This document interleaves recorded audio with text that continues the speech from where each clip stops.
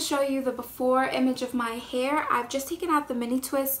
They were in for about two weeks and they were constantly getting wet. So now my hair is really, really dry. Some parts are still maintaining like the curl from the twist out. You can kind of see it, uh, especially back here. And then some parts are just bushing up and doing their doing their type 4 hair thing. Uh, which is whatever they want.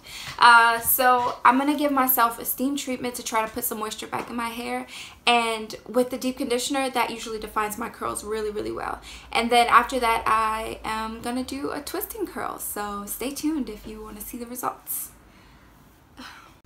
Okay, so the deep conditioner is in and it feels wonderful. So I'm going to show you guys. This is what my hair looks like wet. Here's the texture. I don't know if you can see. Sorry, guys.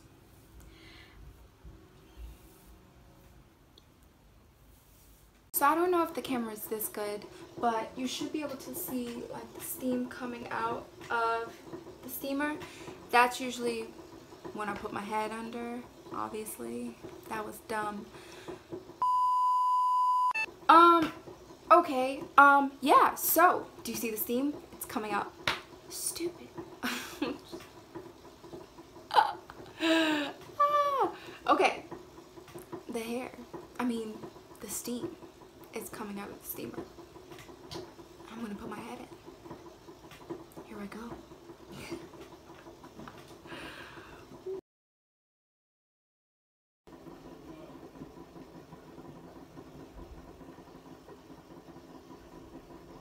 Two hours later.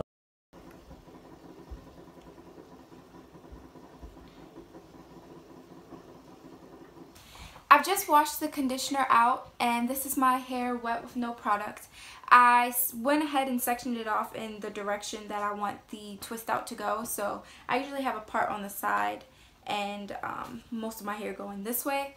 And that's how I sectioned it off. Alright, so the first thing I do when I take the section out is I go and put a um, leave-in conditioner, preferably a detangling one. This one says detangling leave-in, so it's perfect. And it smells really, really good. And that's it for the leave-in. Then I go and decide how big of a chunk of hair I want to work with. Okay, this size. This is a good size. Um, I think I want them to be kind of chunky today. So, I take a little clip. Clip this hair away. Just out of my way for the time being.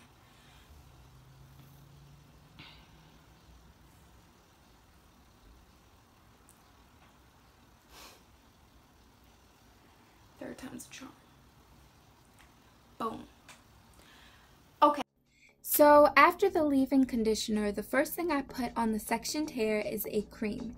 In this case, I use the Shea Moisture Jamaican Black Castor Oil leave-in because it's a good detangler and it softens my hair. Then I follow up with a squirt of oil. This bottle I borrowed from a good friend has tea tree oil, castor oil, coconut oil, and a bunch of other goodies that make my hair feel and smell delicious. It's the bomb, and as you can see in the video, I'm kind of freaking out about it. Might be over now, but I feel it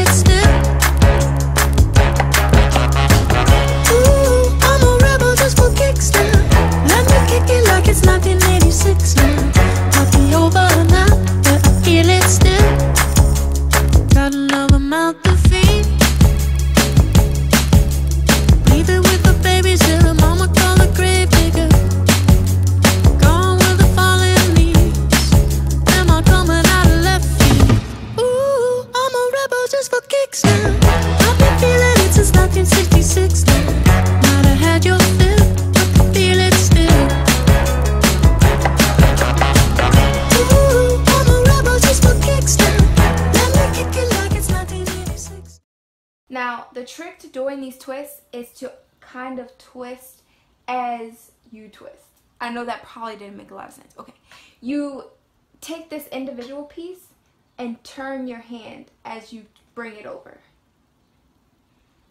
And also smooth out the hair so that you don't get those um, creases. I don't know. I used to get, when I started doing these twist outs, I used to get creases, these sharp creases in my hair, and it's because I would twist a curl instead of an actual stretched piece of hair.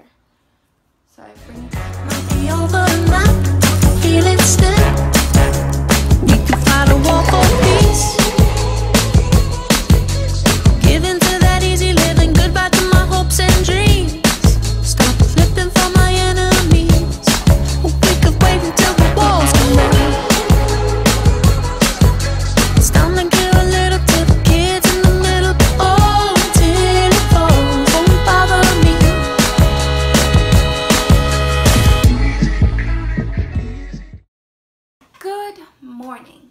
Um, I slept in these overnight. I'm going to show you guys what they look like after sleeping on them.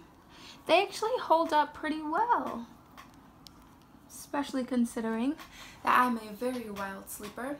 For the takedown, it's actually really, really easy. The only thing I use is coconut oil. The method of takedown is important because if you're not careful, then it will come out super fuzzy. And I mean, the fuzzy look is cool, but if you're going for the defined look, then it can be kind of frustrating. The first thing I'm going to do is take all of the blue rods out. Now, this part is very important. So what I do is I unsnap it and then I unwind it. I don't pull it off, I unwind it in the opposite direction that it was rolled. And this is what the curl should look like. So again, unsnap and carefully unwind in the opposite direction that they were rolled.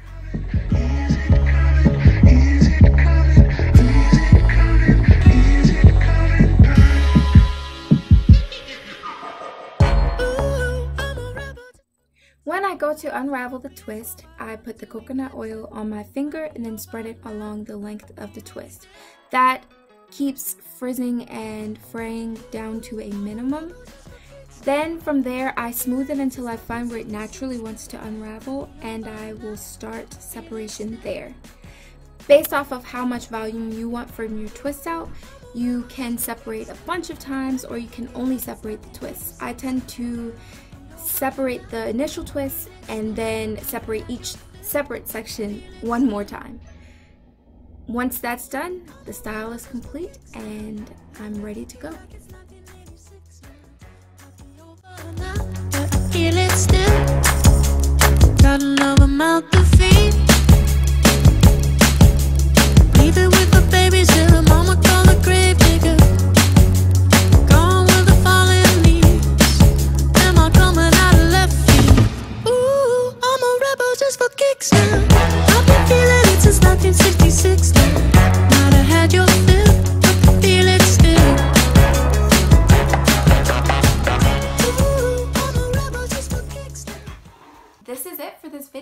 Thanks for watching and um, see you next time. Bye.